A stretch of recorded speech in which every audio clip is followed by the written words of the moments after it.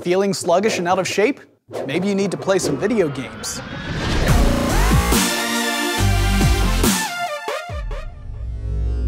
You know, I often think to myself I should really draw up an exercise plan.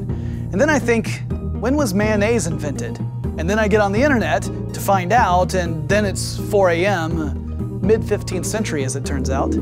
For a healthy adult, the US Department of Health recommends 150 minutes of moderate intensity aerobic exercises and two sessions of physical strength training per week at minimum. Even haters like me have to admit that exercise is really good for your body, particularly for preventing things like cardiovascular diseases. But still, it's a hard sell. I mean, I spend a lot of my time trying to figure out the bare minimum amount of movement I need to make to prevent birds from building nests on me. Does the future actually hold a promise that even people who are not natural athletes will still be able to keep their bodies well conditioned? Well, first and foremost, the future of fitness is all about data. Today, personal fitness trackers count your steps and calculate how many calories you burn during exercise. In the future, smaller, even more seamless form factors could replace them. Epidermal electronics are basically smart temporary tattoos, tiny flexible electronics printed directly onto your skin, which can monitor heart rate, brain waves, and muscle activity. They could revolutionize the way we monitor vital signs on patients in hospitals, but they could also be perfect for silently collecting data on your fitness performance. Or how about something a little less up close and personal, like a drone that actually encourages you to exercise?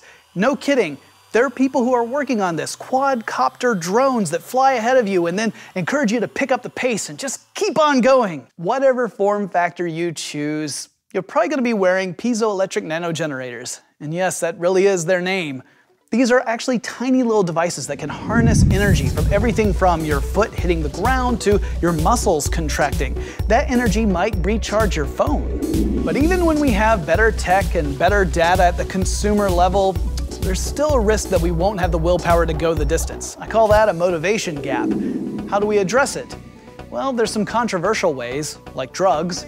A 2004 study found that a psychostimulant used to treat narcolepsy could prolong the amount of time adult males could do intense exercise before exhaustion.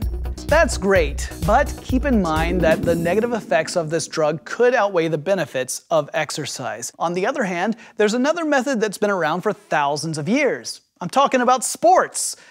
Or if you're one of the corporate drones like me, the gamification of fitness. Now, not all of us have the time to fit a soccer league into our schedule, so how about a more flexible approach? You know, like that app that turns your smartphone into survival horror zombie infested nightmare? Zombies attacked a nearby farmhouse. The survivors are on the roof. We can't just leave them there to die. I was on the beta program of that. You had to run away from zombies and, and try and route your way around them, and uh, I, I was eaten on day two. Birds built nests on me. Hang on, I've got a question for you. If you were to design a video game to help people get fit, what would it be? Let us know in the comments below. And make sure you like this video and subscribe to our channel. We've got some great videos about the future coming up really soon.